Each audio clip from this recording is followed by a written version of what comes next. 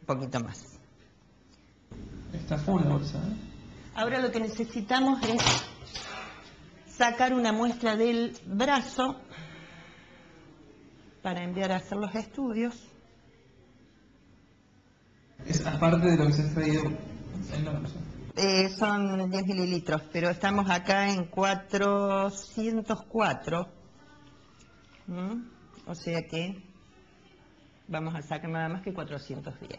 O sea que es menos de 450, ¿sí?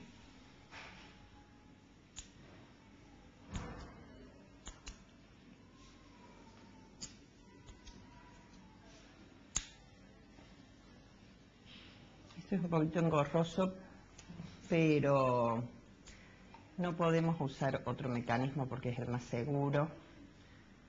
Acá realmente podemos enviar a hacer todos los estudios que hay que hacer. Se desperdicia, digamos. Claro. No, aparte que aseguramos que sea suero. Bien. Ahora, con la otra mano te aprietas bien fuerte acá y nosotros descartamos inmediatamente la aguja.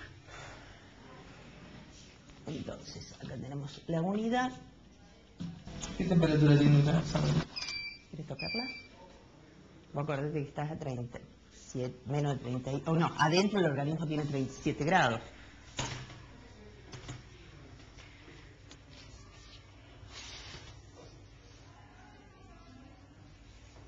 Acá le vamos a hacer la hemoclasificación, o sea, vamos a ver el grupo sanguíneo.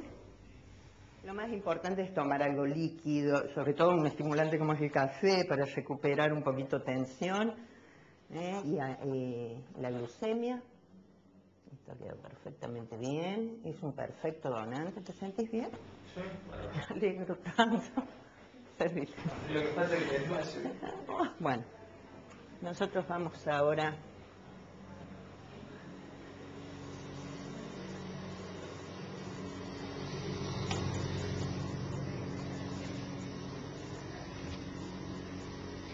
Esta unidad queda afuera de la heladera.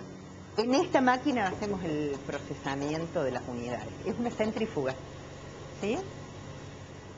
Vamos a depositar la unidad que no va a tener serología en el estante de abajo, hasta luego habilitarla y llevarla a los estantes para cuando lleguen los informes de los estudios serológicos.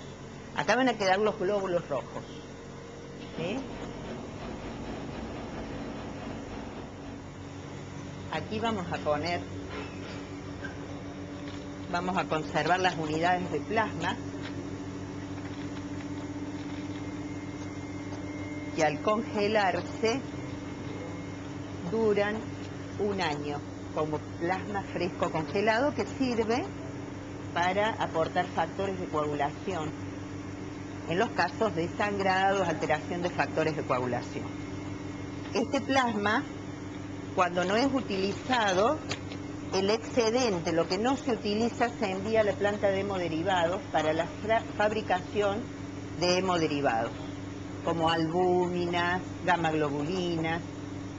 Esto es la materia prima para que la planta de hemoderivados la procese. Esto se conserva a menos 28, menos 30. La heladera está funcionando en un rango de 4 a 10 grados y las unidades con este tipo de, bolsa que traemos acá en el hospital duran hasta 42 días. Luego tienen que ser descartadas. Y acá ponemos el tercer hemocomponente, que son las unidades de plaquetas. Acá nosotros tenemos las plaquetas de un donante. Se tienen que mantener en un rango entre 20 y 22 grados y en constante movimiento.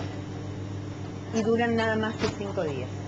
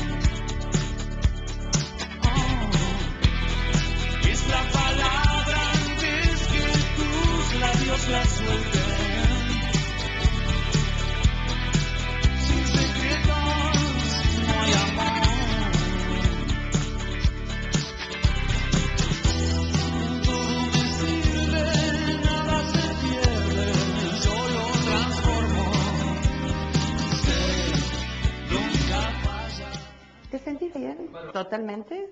¿No te me vas a desmayar? Te voy. Sí, sí. Bueno, la idea de esto era un poco poder mostrar en los hogares eh, en tiempo real, digamos, en primer lugar, cuánto demora una, una donación y saber a qué se enfrenta uno, digamos. Yo creo que hay muchas personas que quizás no conocen este mecanismo y, por eso no vienen. Seguro, seguro. Sí, Yo creo que siempre que ampliemos la información, este, el conocimiento hace que uno tome otras actitudes. Y este es uno de los ejemplos.